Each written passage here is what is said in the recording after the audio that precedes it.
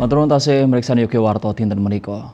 Para pemirsa tanaman tomat dumugi wekdal sakmenika tasih dados pilihanipun para kadang tani. Sinaosa ngrimatipun gampil ananging tanaman tomat menika kalebet tanaman ingkang ringkih katra oma. Saking sakadeng jenis tanaman palawija lan hortikultura ingkang wonten tanaman lombok lan tomat dados pilihanipun kadang tani saksamunipun mangsa tanem pantun purna.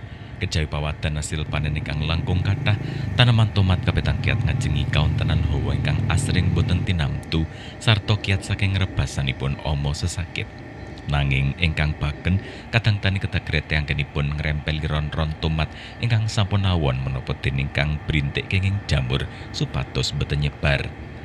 Salah sawane kadang tani tomat ing laladan Pandan Sari Bantul ngandharaken omeng ingkang kedah dipun katosaken inggih menika busuk batang ingkang saged damel tanaman tomat pecah.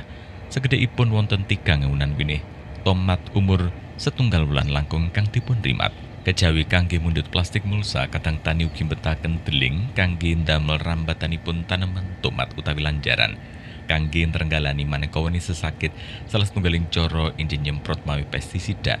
Kejawi menika enggal nyemprot toyo resik sak samanipun tanaman tomat kenging toyo Jawa. Sawetawis babagan rabuk Siti namung ginakaken rabuk organik saking bujalan lembulan minto.